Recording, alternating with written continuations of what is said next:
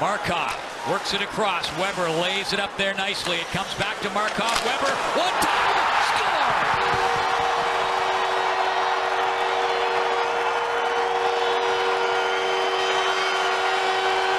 You know what? When you have a guy that's got that kind of cannon, the other opposition team likes to really be careful and get in his lanes. So you got to lose him. Watch the switching that goes on. See Weber get lost there?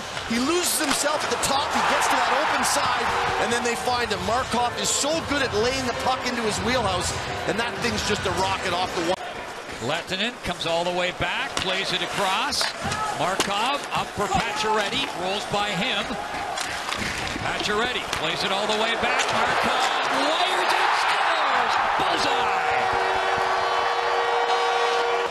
The guys who are one and two in the scoring are Weber and Markov, and who strikes the two goals in this game? Weber first, and then Markov. Both guys, guys can really bring the heat, and especially when you get a chance to walk into it.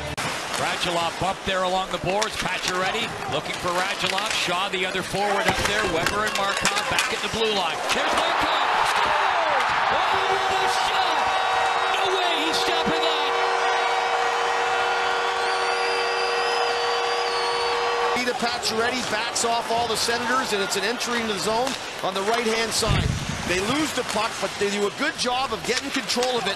And then Karlsson looks to make that little shovel pass, and sometimes it's blind.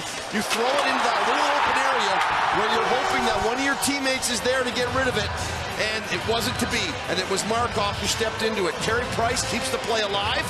And there's the play I'm talking about. That was a help. Puck comes back to Borowiecki. Pass over there to Wideman. Tried to fire it towards the net. Brassard after it in the corner.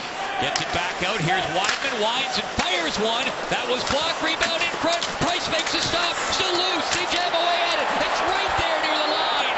To arrive. Hoffman gets it down towards the corner. Phaneuf is up there. Pageau as well. He'll play it back out for Hoffman. Hoffman walks it across to the middle. Lays it over. Pageau scores. It's going to come up the boards from Pageau. He knows Pageau's there, and a little shake and bake, goes to the middle, draws two Canadiens, and then drops it back to the original guy who gave you the puck.